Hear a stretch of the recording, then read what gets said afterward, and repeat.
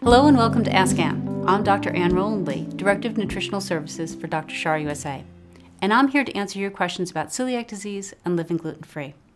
Our next question comes from Whitney J., who asks What are some of the common symptoms of gluten intolerance or celiac disease? This is a really important question.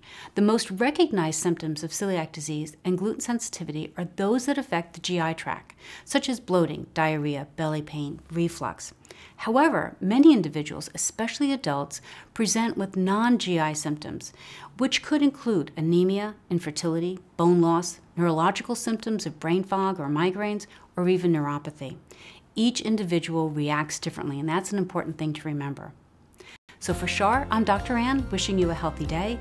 To ask me your questions, send me a tweet using the hashtag AskAnne, and don't forget to join the Schar Club today, where you have access to the ultimate gluten-free community.